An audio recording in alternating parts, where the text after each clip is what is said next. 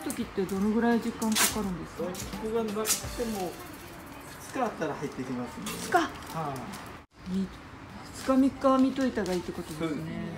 またまたよかったです。本当ですね。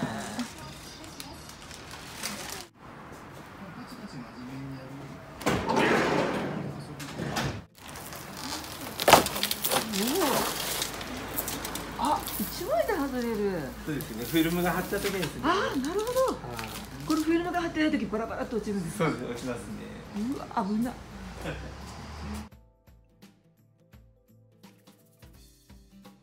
貼らないなら貼らないでも全然まあ番号出さんがいいと思いますよ。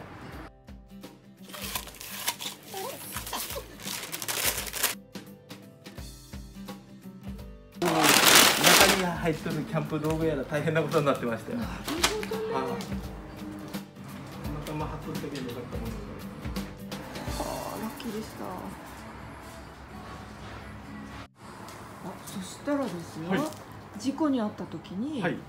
あのフィルム貼ってないはい。車だと、はい。ガラスがバーッと降ってくる？自分に？ますね。はい 怖いですよ。そうなんだ、はそれも絶対あのフィルム貼ってもらった方がいいですね。安全ですね。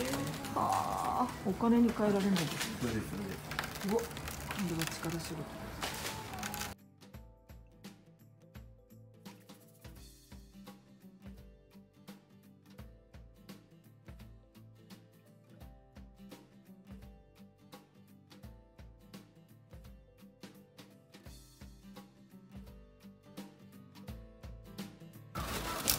これ私はそのマンションの角にぶつけたけどどどうしてこんなにやっぱり後ろから追突されるのが結構多いですね。追突されたらリアガラス割れるの割れますやっぱボディが曲がるけんその曲げに耐えきれず割れるって感じですね。えー、ボディが曲がる。はい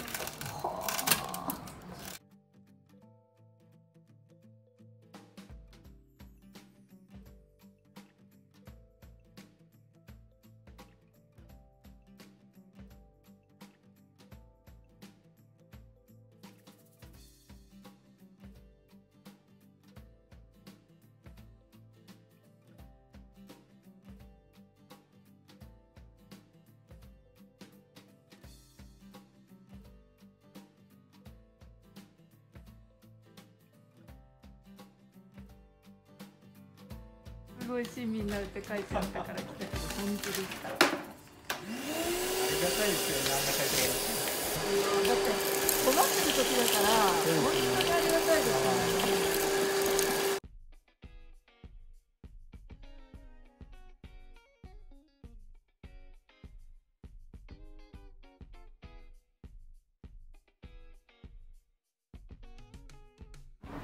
してしまうんですねですね剥がれかかった大きいですねそう割れたショックですね。そんなに割れたショックで笑い。事じゃないですけどえー、びっくりする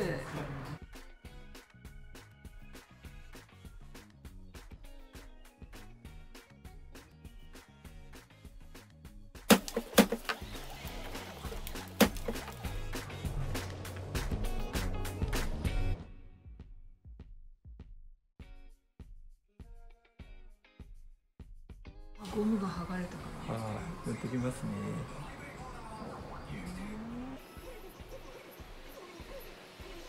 やっぱネットで見たらリアよりかフロントガラス割る人の方が多いんですよね。多いですね。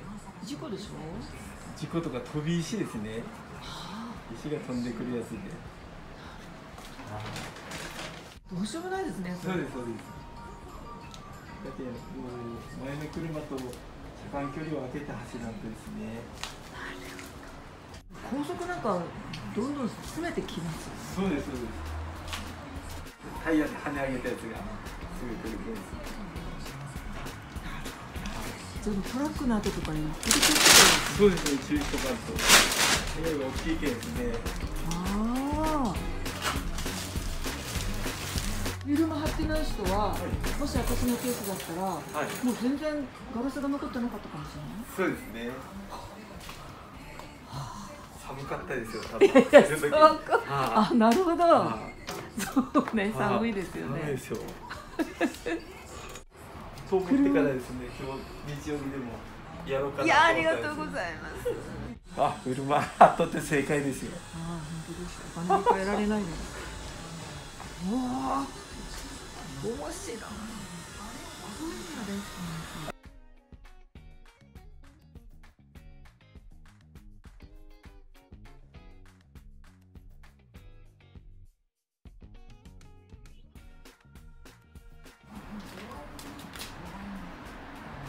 あらシールまで貼ってある。中古ガラスやけんええええ？中古ガラスだからシールが貼ってあるそうですそうですもともと新新車から外したガラスやけんででちょっとどっか若干傷があったんですよね。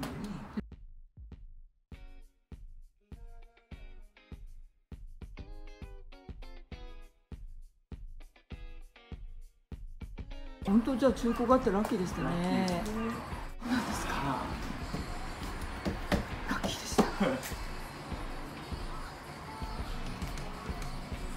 うわ危ない指で。い怖いそれ。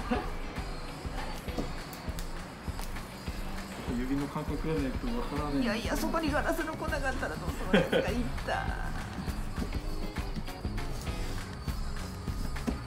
あの海外のガラス選ってたんですよね。あああれはプロとしてどうなんですか？まあ作りは悪いんですけどね。まあ風よけ雨よけには全然大丈夫ですけどね。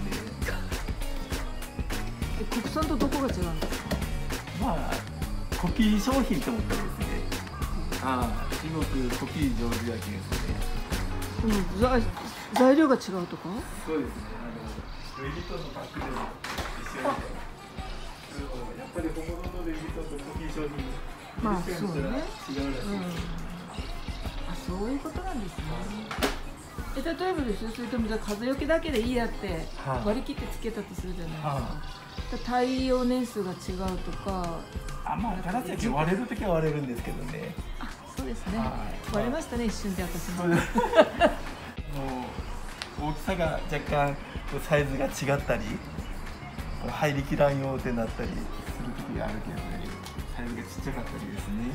あじゃあそういう時どうするんですか？もうそのまんまで。ああなるほど。